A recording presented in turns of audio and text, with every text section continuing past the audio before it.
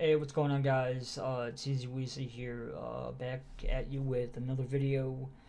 Uh, I'm going to show you guys how to uh, get uh, AnyTrans for free. Um, and so what you want to do here is download the, uh, the uh, RAR file. Uh, link will be in the description. So what you want to do here is download it.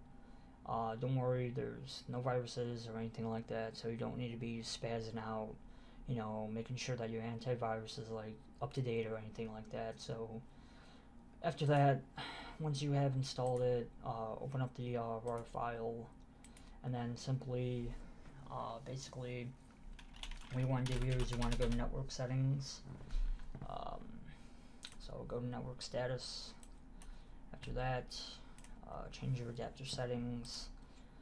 After that, you want to disable them because you have to disable the uh, network so it can install.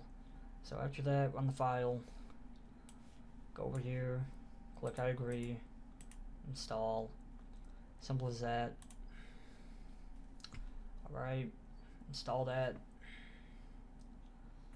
And then I'll come back to you once uh, it's done. Alright, so it's done now. Click finish. Alright, after that, Alright, so once you've uh, opened it up, basically just search uh, AnyTrans, click activate, and then here you have your uh, license code.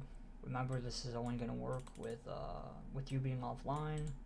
Copy it, there you go, paste it in, activate it, there you go, you're done, simple as that.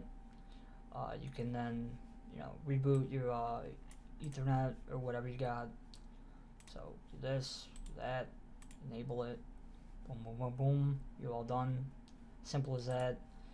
Um, I'll make sure to leave the uh, download and the uh, link in the description so you'll be all set. And, uh, you know, really useful tool if you need to get uh, stuff off your device or something like that. That's about it. Have a good one. Peace out.